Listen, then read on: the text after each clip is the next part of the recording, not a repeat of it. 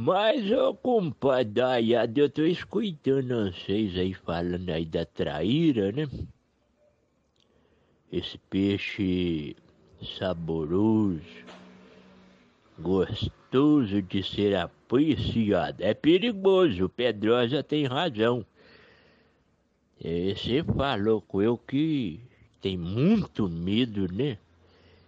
Do espinho entalar na, na corda do pescoço dele. Teve uma vez que eu saí com Pedrosa para pescar. Ah, já tem muitos anos. Pedrosa era menino. Se tivesse muitos 70 anos na época. E eu saí, mas o Pedrosa que trouxe. Fomos lá no Rio Manteninha, pra baixo de Mantena, alguns cabos de machado. Vara na mão, lata de minhoca e vai lá nós pro corguinho. Eu levando as minhas varinhas na mão, que trouxe ele com as varinhas dele pra lá, que tem, e vai daqui, vai dali. Chegamos lá no corguinho. Paramos debaixo de uma moita de bambu lá e ele ficou mais pra baixo na volta lá no, no remanso e eu fiquei mais em riba com a pé de umas pedras e tamo ali pescando. Rapaz, não deu que nós pegamos foi muito? Eu levei bornazinho, onde eu punha minhas traiazinhas, ele também com o bornazinho dele que tem.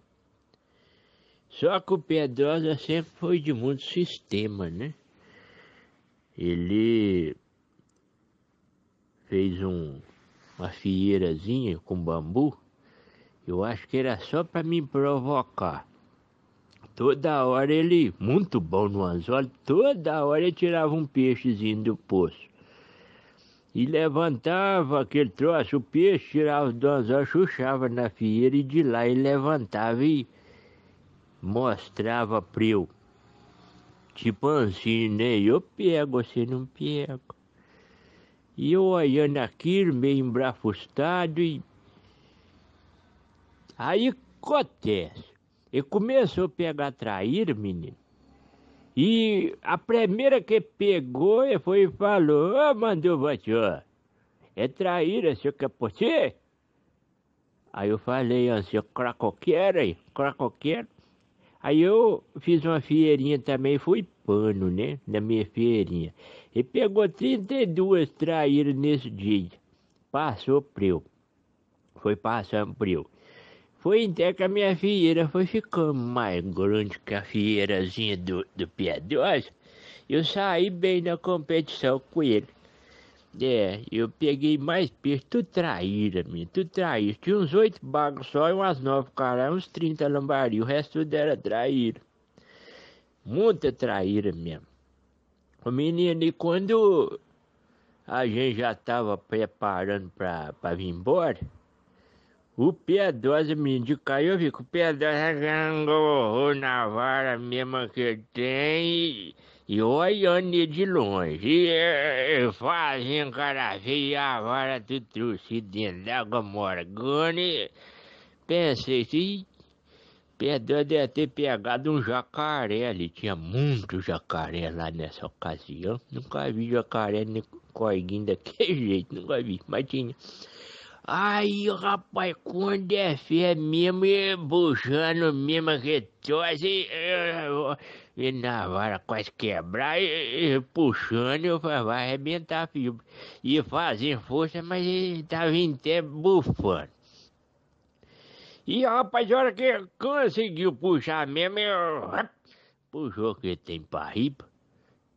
Ah, menino, voou pra riba, mas não veio nem pro de perto onde estava. Só subiu mais ou menos uns 30 ou mais metros para riba caiu lá no, dentro do, do rio de novo.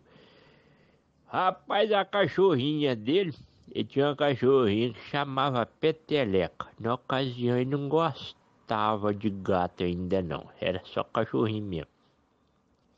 Rapaz, a peteleca, quando viu o peixe pulando dentro d'água, caindo dentro d'água, e o pedal preparando para dar uma, uma chopa, né? Uma chopa dentro d'água.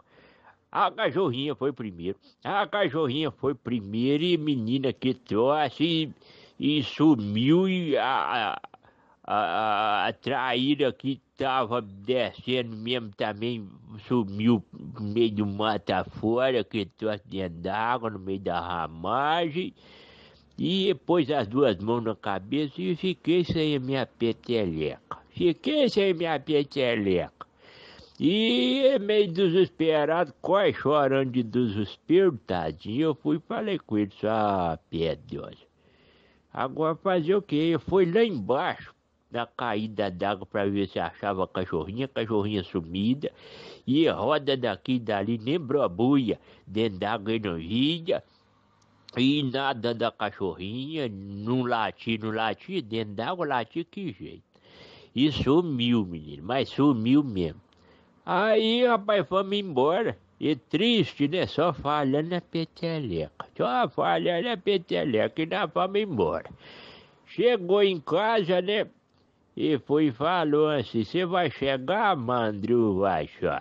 Falei assim, não, Petão, você já tá ficando tarde, eu não vou chegar hoje não, vou embora pra casa, você tá aborrecido, eu vou deixar você ir. Ah, não, era bom, mano, baixar, se você ficasse, eu tô triste mesmo, aborrecidinho mesmo, vou voltar lá no colo com a lanterna, vou ver se eu vejo a peteleca.